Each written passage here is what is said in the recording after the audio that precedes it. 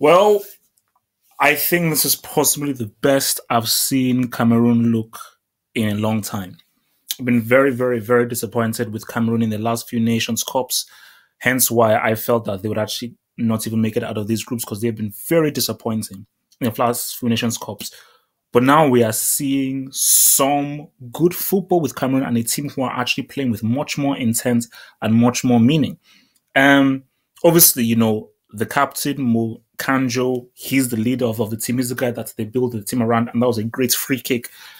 And you say to yourself that, you know, Cameroon should have gone on there and close the game out. But I keep telling you guys, Nations Cup, this is why this is an amazing tournament. There are no easy games, and Burkina Faso are a very good team. They showed how good they were reaching the final, which they were got beaten by the boys Super Eagles, Stephen Keshi. We love you.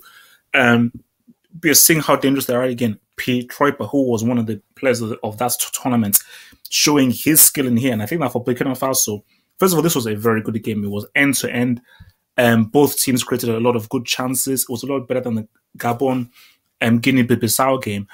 And I think, you know, for Cameroon, they, they I don't think Burkina Faso did not deserve to lose this game, especially in the second half, with how much they put pressure on the Cameroon and how much they went at them. I think they, they wanted something more. But I'm liking what Cameroon are doing, and I can see a team that can go all the way. You know, because the physicality is always there, the intensity is always there. Cameroon, they always give 100% for the shirt, obviously, most of the time, not all the time. But now we're seeing skill. We're seeing better chance creation. We're seeing better football being played in that last third to create chances. And again, Njie, who wasn't very good for, for, for Tottenham, he's looking like he can actually bring something into the team, an extra element.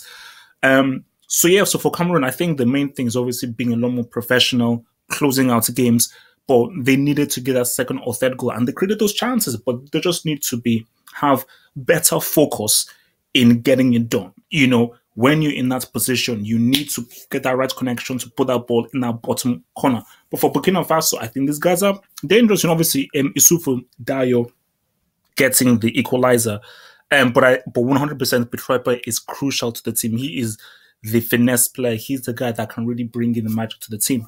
And I just think that for Gabon and Guinea-Bissau, they have to raise game because this is a very tough group. I've seen Gabon and Guinea-Bissau play I feel that these two teams are markedly better than both Gabon and Guinea-Bissau.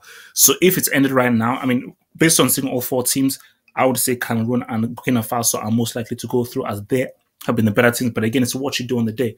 But I think obviously for this match for Cameroon, they just need to work on getting more more goals. They can't rely on the one zeros. They've got a very young keeper in there, and the defense is not that solid. So they will always leak chances and leak goals. So they need to get their, their, their, their strikers scoring more goals and actually getting a second or a third goal. They can't just rely on the solitary goal. And again, for Moukandjo, he is the player who has to inspire them. If he plays well, it lifts the entire team. And for Burkina Faso, I just think really for them is do keep doing what, what, what they're doing. They've got a good keeper as well who made an amazing, amazing tackle when it was one on one, which was a game a game changer.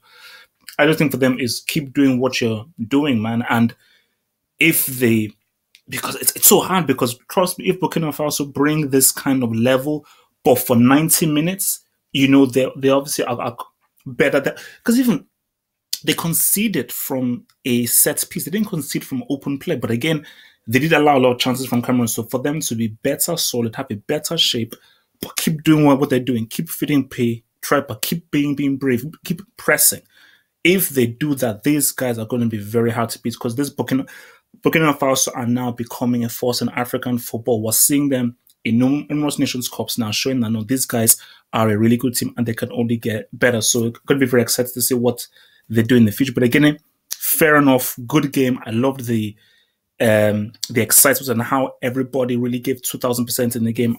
Quality, quality, old school, typical Nations Cup match. So it was great to see one one fair results based on how both teams played in both halves.